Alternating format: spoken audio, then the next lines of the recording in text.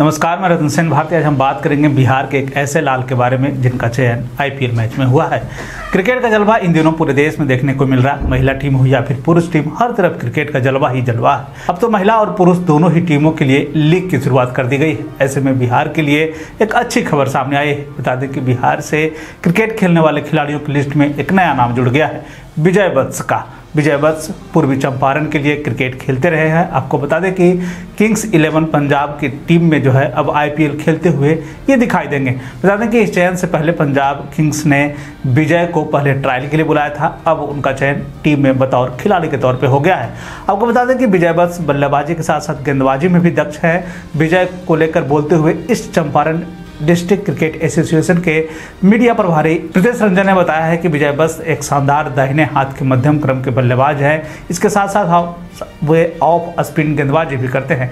पिछले सीज़न में तो उन्होंने शानदार प्रदर्शन किया था, जिसके आधार पर उन्हें बिहार की रणजी टीम में चयन किया गया है। हालाँकि रणजी में खेलने का मौका नहीं मिला। वहीं उन्हें मुश्ताक अली टी ट्वेंटी के लिए बिहार की टीम में खेलने का मौका मिला था। आपको बता दें कि विजय बस बिहार की ओर से खेलने से पहले झारखंड की टीम का हिस्सा रहे हैं। झारखंड की तरफ़ से खेलते हुए एक सत्र के दौरान विजय बस ईशान किशन के साथ रूममेट रहे। आपको बता दें कि विजय ने झारखंड के लिए अंडर 19 कूच बिहार ट्रॉफी में अपना जलवा दिखाया था। इसके बाद 2016-2017 में भी उन्हें अंडर 23 सिक्की नायडू ट्रॉफी में झारखंड टीम का प्रतिनिधित्व किया।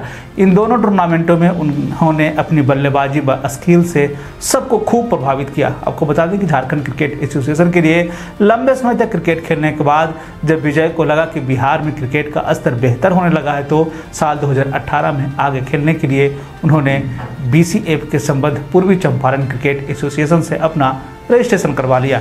विजय वत्स की बल्लेबाजी से प्रभावित होकर श्रीलंका के क्रिकेट बोर्ड ने उन्हें श्रीलंका के घरेलू क्रिकेट में भी खेलने के लिए आमंत्रित किया था, जहाँ NG sports and welfare club Colombo के लिए खेलते हुए विजय ने अपने प्रदर्शन से खेल प्रेमियों को खूब चौंकाया। आपको बता दें कि श्रीलंका में उनके द्वारा किए गए प्रदर्शन को प्रथम श्रेणी मुकाबले में दर्ज किया गया है और विजय बस जो है वो बिहार के समस्तीपुर ज़िले के रहने वाले हैं। बिहार से खेलने वाले क्रिकेटरों की लिस्ट में एक नया नाम विजय बस जुड़ा है।